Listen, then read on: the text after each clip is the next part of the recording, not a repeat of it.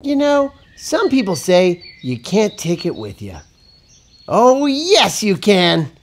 Pick it up, pack it out.